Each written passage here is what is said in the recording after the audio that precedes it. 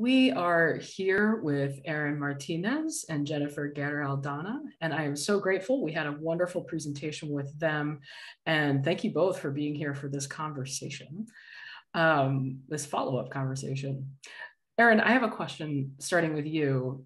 You spoke about a term known as double consciousness. Mm-hmm. I wonder if you could define that for us here and perhaps speak to how youth might experience that in an even more challenging way than adults might.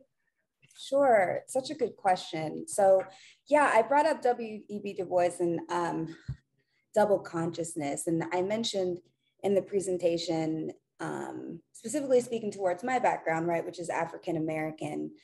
Um, even though we are African, we're also American, and we're constantly reminded that we are a stolen people who reside in a land that we were forced to build for free, right? So we live and still live with the tension of societal and self-regulation of our bodies and actions in order to be considered acceptable as fully human in society while also trying to live fully and authentically. So as young people, um, and as someone who is African American, it is interesting how we have African roots and we have our American roots. And so as an adult, I've really, I grew up in more of an American household. It was a Black household but wasn't distinctly African, you know? So I've had to really um, do my own work in looking up African practices and different things that I know that are in my roots and in my history in order to just really honor my ancestors, honor African practices and traditions and all of those things that aren't really taught to us um, we have to really seek them out. And I think something too is I've I've gone to predominantly uh, white institutions my whole life. Uh, I didn't go to a really, I guess, considered um, diverse school, which I went to a historically black college. So I went from predominantly white institutions to a black college, Schipper College. And I think something that black and brown and BIPOC students feel is when there isn't a lot of diversity in those schools, they're trying to figure out how to be fully authentic in their skin, whether that's Black, Brown, Asian, Latina, you know, Filipino, what have you, but also still trying to be with the mainstream culture, which is white.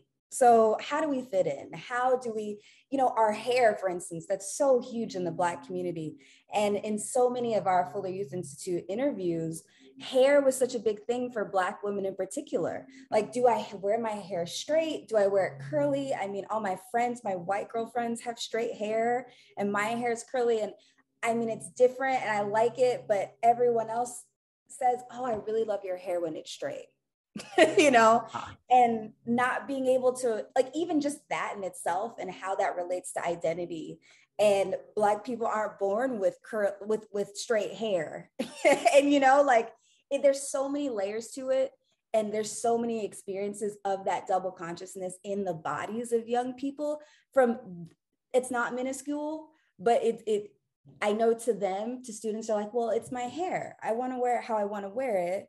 But also other people wear wear their hair this way and maybe it's better for me to do it because i'm more accepted this way. Mm-hmm. so it gets real deep. Yeah. You know? Um yeah well and i I can only I can't imagine. I truly can't imagine. And but I wonder just the mental acrobatics you have to go through. Right. Not, not just not you in particular, but just in oh, general, folks uh-huh. in this situation. Um, yeah. That's that sounds really exhausting. It just yeah. sounds really exhausting.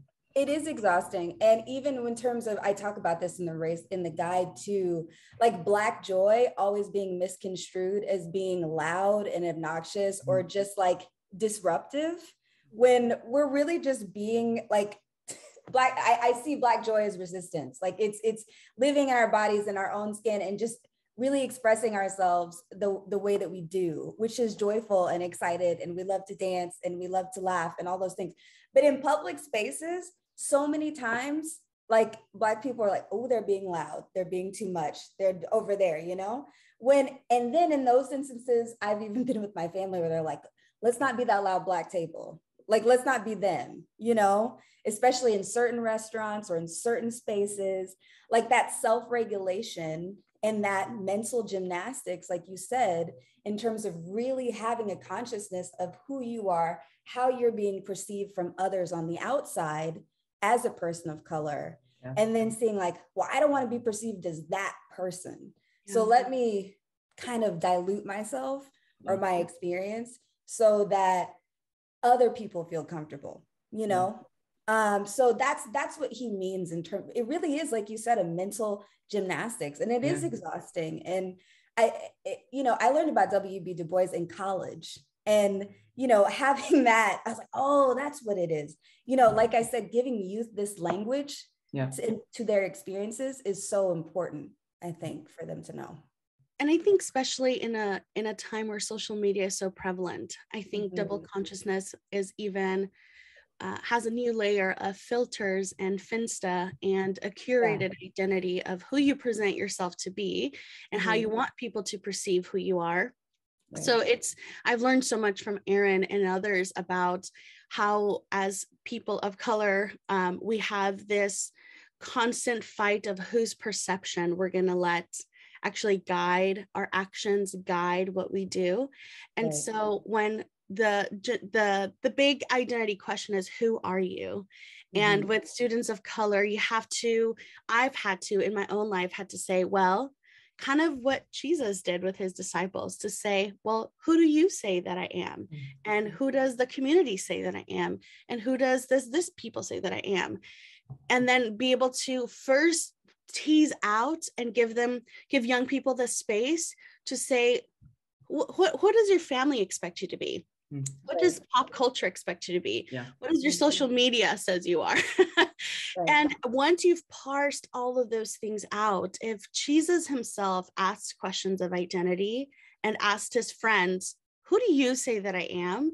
I just mm. wonder how much more space we need to offer young people to make those identity questions in our youth group gatherings, in our friendships, because yeah. there's a lot of layers to answering the who are you.